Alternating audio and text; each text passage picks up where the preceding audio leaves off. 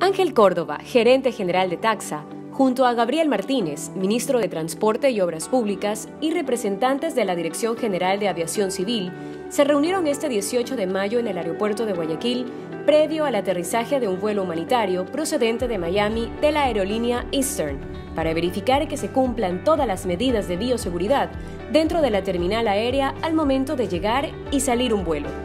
Y estamos realizando realmente de muy buena manera todo está funcionando muy bien, está ya muy coordinado. Eh, las autoridades de salud tienen 10 eh, eh, médicos aquí con todos sus asistentes y las tomas y muestras que se están dando a los pasajeros se ha dado de la mejor manera. Pues al entrar tuvimos obviamente que por las medidas, primero los grupos vulnerables y como corresponde, en realidad no fue no demoró mucho la columna previa para las medidas de la temperatura.